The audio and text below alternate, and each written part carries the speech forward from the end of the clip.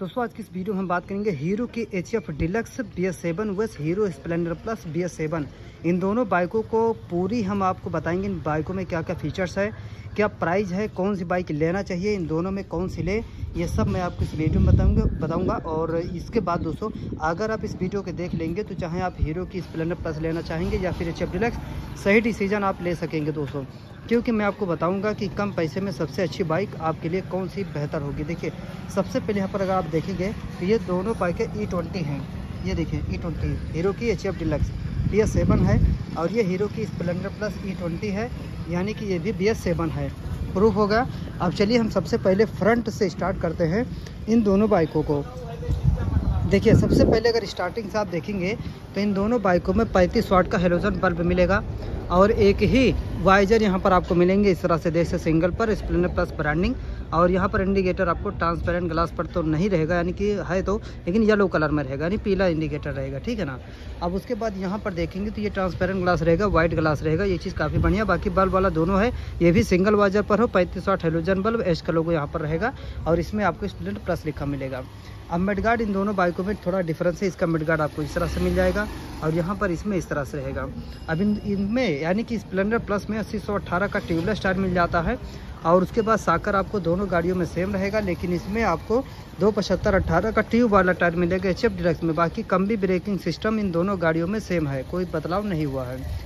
अब अगर fuel tank की हम बात करें तो 10 लीटर पेट्रोल आएगा हीरो की एच एफ़ डिलक्स में। यहाँ पर आपको हीरो लिखा हुआ मिल जाएगा। बाकी कलर ऑप्शन की बात करें तो लगभग पाँच से छः कलर में एच एफ़ डिलक्स आपको मिलेगी। यहाँ पर आप देख सकते हो। अब इसका स्प्लेंडर का देखेंगे तो यहाँ पर सिर्फ़ हीरो का ब्रांडिंग आपको मिलेगा। और ई ट्वेंटी तो लिखा ही है यहाँ पर डबल फ्यूल टैंक का कैप दिया गया है, यानी ऊपर और इसके अंदर एक है। और यहाँ पर सिंगल फ्यूल टैंक का कैप दिया गया है। ये चीज़ एच एफ़ डिलक्स में थोड़ा सा अच्छा लगता है। और स्प्लेंडर में भी दस लीटर पेट्रोल आएगा, यानी दोनों की फ्यूल टैंक कैपेसिटी सेम है। अब एच एफ़ अगर आप देखेंगे तो यहाँ पर साइड स्टैंड का सेंसर और ये चीज़ आप देख सकते हैं पूरा। यानी कि एनालॉग वाला ही कांटा रहेगा, इस तरह से आप देख सकते हो। और यहाँ पर भी आपको सेम टू सेम फीचर्स आपको मिलेंगे, लेकिन ये यहाँ पर सादा रहेगा। और इसमें आप देखेंगे तो यहाँ पर हीरो लिखा हुआ इस तरह से मिलेगा। ये चीज़ काफ़ी बढ़िया है। बाकी high low beam touch signal हारन सेल्फ स्टार्टर किक स्टार्टर ये दोनों बाइकों में सेम चीज़ दिया गया है। इसमें आप देख सकते हो, कोई ज़्यादा बदलाव नहीं हुआ। है अब देखिए, अगर सीट की बात करें तो यहाँ पर हीरो की स्प्लेंडर का और एच डिलक्स का सबसे लंबा चौड़ा एच डिलक्स का आपका सीट मिलेगा। देख सकते हैं आप स्प्लेंडर से इसका सीट काफ़ी लंबा चौड़ा है। साइड पर यहाँ पर अगर देखेंगे पैनल पर तो एच डिलक्स लिखा मिलेगा। यहाँ पर आपको स्प्लेंडर प्लस लिखा मिलेगा। अब उसके बाद दोस्तों, चेसी और कैंची दोनों गाड़ियों में सेम है, यानी कि डबल चेसी इसकी भी है। यहाँ पर आप देख सकते हो इस तरह से। ये देखिए डबल चेसी इसमें भी है और उसमें भी है। अब उसके बाद इंजन की बात करें तो सत्तानवे दशमलव दो सी यानी ninety seven point two cc single cylinder O S C air cool engine है दोनों गाड़ियों का। और दोनों में आठ हज़ार पावर है। टार्क है, इसका पैंसठ सौ, उसके बाद दोस्तों यहाँ पर अगर हम बात करेंगे सेल्फ और किक दोनों स्टार्टर आपको दोनों गाड़ियों में मिल जाएगा। माइलेज आपको दोनों गाड़ियों में सत्तर का मिलेगा पावर स्टार्ट यहाँ पर। लेकिन एक ये चीज़ है कि एच डिलक्स अगर आप चाहें तो सिर्फ़ किक स्टार्टर भी ले सकते हैं, लेकिन स्प्लेंडर में सिर्फ़ किक स्टार्टर नहीं आता, दोनों आता है सेल्फ और किक दोनों साथ में। बाकी आप दे सकते हैं। अब अगर पीछे आप देखेंगे साकर तो ये दो बार एडजस्ट कर सकते हैं जब डिलक्स में दो बार एडजस्ट करने वाला दिया गया है, और इसमें पाँच बार एडजस्ट करने वाला दिया गया है स्प्लेंडर प्लस में पाँच बार एडजस्ट करने वाला साकर है। अब इसका जो टायर है वो अस्सी सौ अट्ठारह का ट्यूबलेस टायर दिया गया है एच स्प्लेंडर प्लस का। और एच डिलक्स में दो पचहत्तर अट्ठारह का सेट वाला ट्यूब वाला टायर दिया गया है, बाकी ब्रेकिंग सिस्टम एक सौ तीस एम का ही है। अब साइलेंसर देखेंगे तो यहाँ पर देख सकते हैं पूरा एकदम फुल कवर दिया गया है। और यहाँ पर इसमें भी सेम साइलेंसर आपको पूरा कवर वाला मिलेगा, उसका भी पैनल नहीं लगा है। ब्रेक लीवर भी दोनों गाड़ियों में सेम है, देख सकते हैं आप। ठीक है ना? अब रियर की अगर हम बात करें तो यहाँ पर इसमें कैरियर इस तरह से मिलेगा ग्रेवरियल सिंगल में।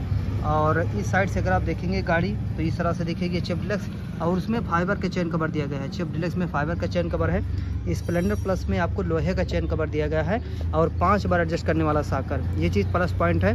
बाकी side stand cut off engine का फीचर इन दोनों गाड़ियों में मिलेगा। और लुक आप देख सकते हैं स्प्लेंडर और चिप डिलक्स का।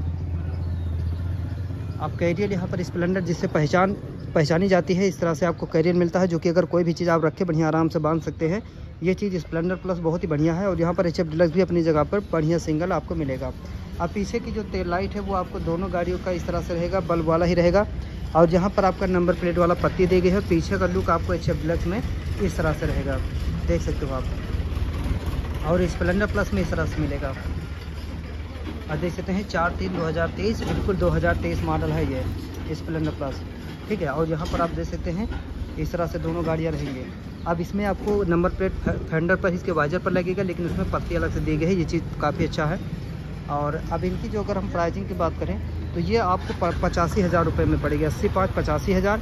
ये आपको पड़ेगी अस्सी हज़ार से इक्यासी हज़ार इक्यासी हज़ार मान के चलिए। तो अब आप बताइए कमेंट में आपको कौन सी बाइक अच्छी लगी? दोनों बाइकों का सेम जो जो फीचर है, मैंने सब बता दिया। अब आप बताइए कि कौन सी अच्छी लगी और अगर आपको वीडियो अच्छी लगी हो तो चैनल को सब्सक्राइब करें, लाइक करें, शेयर करें।